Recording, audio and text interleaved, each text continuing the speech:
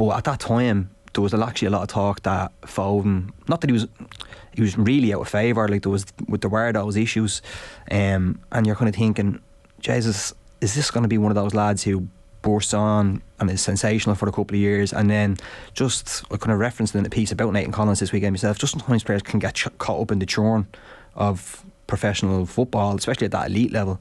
But he's kind of sees that obviously Kevin De Bruyne has got his injury, he gets a chance to play centrally, and he takes his opportunity. And Yeah. it's just the ability that he has and the way he plays football. It's just brilliant to watch. It's there's no other. Like, it's just it's he is one of those players where when he's on when he's on that form. You just try and watch him play football and, and see him because it's, there's, I don't think there's anybody else like him in the No. Premier League. And he's definitely better centrally. The damage he does in the half turn is just frightening. Mm. He was so good. I think he's got rubber legs. The angles, he seems to just um, Yeah.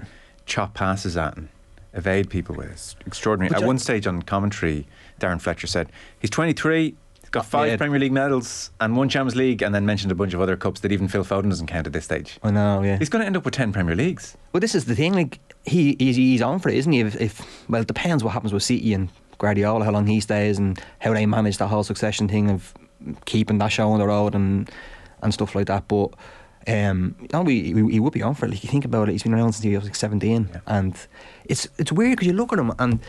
He's just so technically gifted, and yet sometimes he's he's doing stuff at a pace and I'm sure, like I don't know, even say with rugby or with, with Gaelic, and maybe uh, I can't really comprehend it in that in that in those kind of spheres. But you see it in football, and you're like, how can he do it at that pace? Where some players just have that ability to do stuff so quickly in terms of speed of thought, but then do it with their hmm. feet. But then also when when it's needed, what you're saying about being great essentially, when he is playing wide, sometimes where he just slows it down, and then in an instant it's hmm. gone again.